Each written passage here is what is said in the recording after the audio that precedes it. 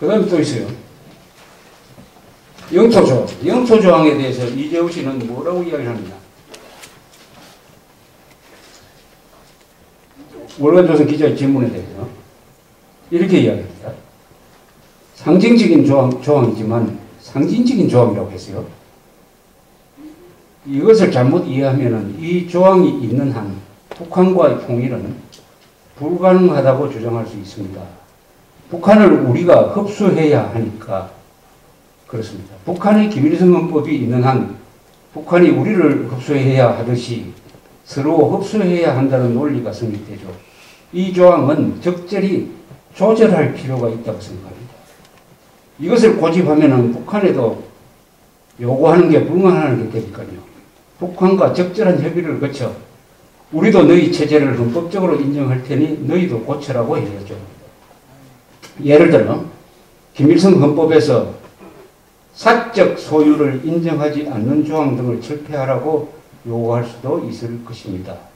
북한 헌법 1조 같은 것도 우리 헌법 3조와 비슷하지만 이거 아주 지, 능적인 이야기입니다. 이거 이거 다 이유가 있어요. 이것을 고집하면 북한의 요거는 그러니까 요는 헌법 제3조 대한민국 헌법 전체 조항 중에서 제일 중요한 조항 하나가 헌법 제3조 대한민국의 영토는 한반도와 그 부속 도서로 한다. 따라서 북한은 반국가 단체다. 따라서 대한민국만이 한반도의 유일한 합법 국가다. 유일한 정통 국가다. 그래서 우리는 북한을 국가로 부르지 않고 반국가 단체로 본다. 그래서 반국가 단체를 처벌하는 국가보안법이 간첩죄와 별도로 존재한다. 이겁니다.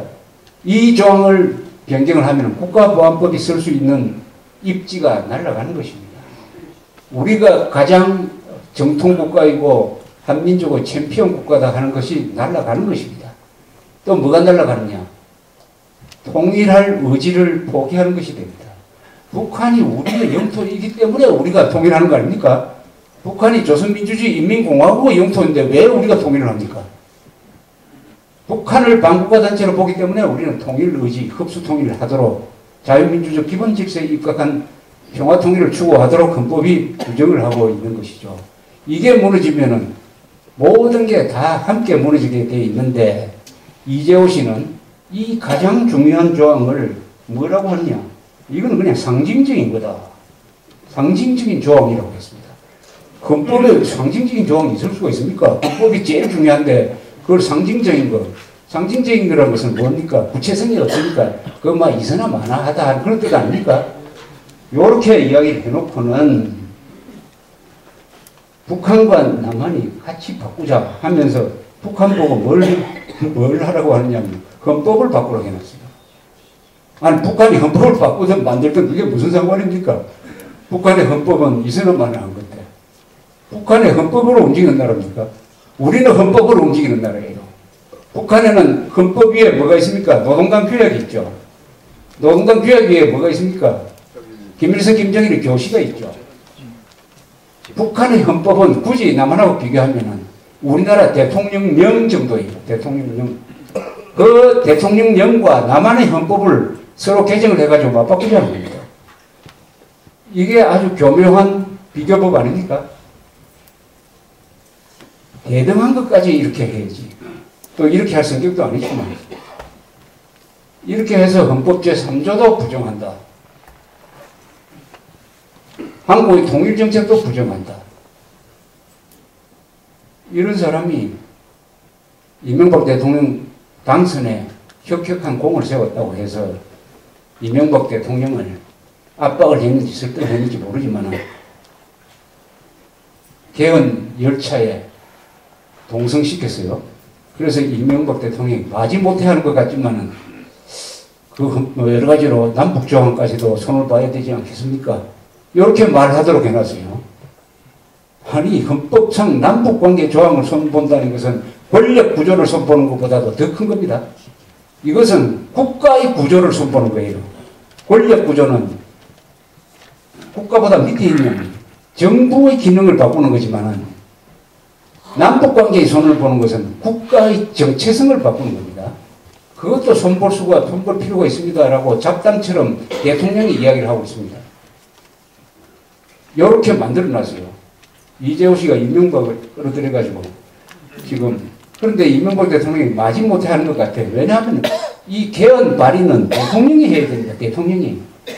대통령이 해야 제대로 되는 거죠. 내가 대통령직을 해보니까 헌법상에 이런 이런 문제가 있습니다. 이걸 고쳐야 되겠습니다. 이렇게 말해야 정상 아닙니까? 근데 자기는 뒤로 속 빠져버리고 개헌 논의는 국회가 해주시기 바랍니다. 이렇게 나와요. 헌법을 대하는 이명박 대통령의 태도가 뭐가 모자라느냐. 헌법을 존중하는 마음이 보이지 않습니다. 헌법을 존중하지 않는 대통령은 절대로 공직자가 돼서는 안 돼요. 헌법을 존중하지 않는 대통령은 불경을 잃지도 않는 불교도 성경을 모르는 기독교도하고 똑같아요. 자기가 없으니까. 이게 앞으로 어떻게 해갈지 계속 우리가 이 감시하면서 언젠가는 행동으로 이걸 좌절시켜야 돼요.